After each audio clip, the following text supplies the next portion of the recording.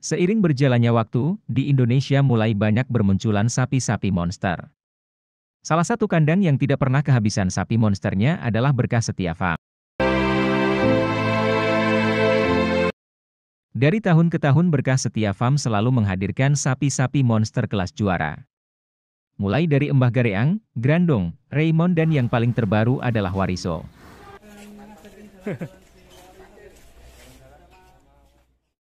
Wariso merupakan sapi monster yang masih bertahan hingga tahun ini. Seperti para pendahulunya Wariso memiliki banyak keunggulan, dan dalam video kali ini kita akan mengulas 5 keunggulan Wariso yang tidak pernah ada di sapi jumbo mana pun.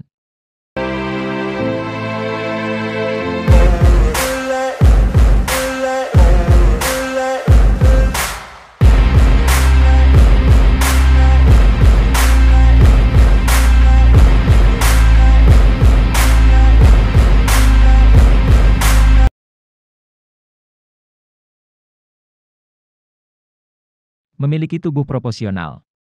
Sebagai sapi yang memiliki berat 1 ton up, Wariso sendiri terlihat sangat gagah dan proporsional karena memiliki tubuh yang begitu tinggi dan tegap. Wariso sendiri memiliki tubuh yang tinggi dan tegap sebenarnya karena didasari memiliki gen atau keturunan sapi Brahman yang masih kental.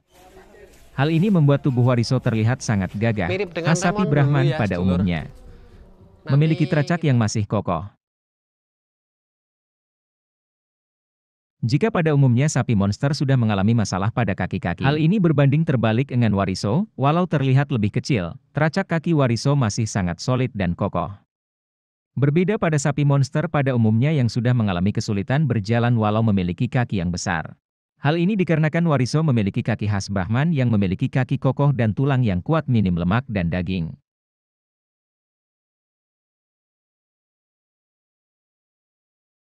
Lincah Berbeda dengan sapi monster pada umumnya yang sudah malas bergerak, Wariso masih sangat lincah bahkan Wariso masih sering melompat-lompat dan berlari seperti sapi pedet pada umumnya, hal ini dikarenakan umur Wariso yang masih sangat muda.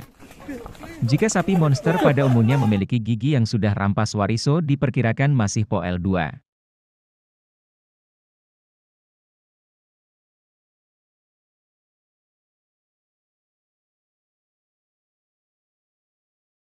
Tergolong sapi yang ganteng. Dibekali dengan tubuh tegap dan didukung dengan dua tanduk yang sangat simetris Wariso terlihat sangat ganteng di kalangan sapi jantan. Selain itu Wariso juga memiliki warna yang selaras hampir tanpa corak sedikit pun, tentunya hal ini mendukung Wariso terlihat semakin ganteng dan gagah. Dibanjiri fans. Wariso berhasil menjadi sapi paling hits tahun ini, selain penampilannya yang terlihat gagah Gagah Wariso juga terlihat begitu berkarismatik.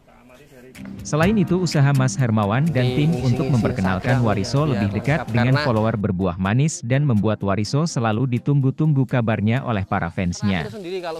Demikian lima keunggulan Wariso yang tidak ada di sapi monster mana pun. Keluarkan untuk besok Idul Kurban. Guys, segede ini. Mantap sekali. Sementara saat ini terbesar terjumbo yang ada di kandang kami. Seperti itu. Yang... Jangan lupa like dan subscribe agar tidak ketinggalan info-info menarik dari kami.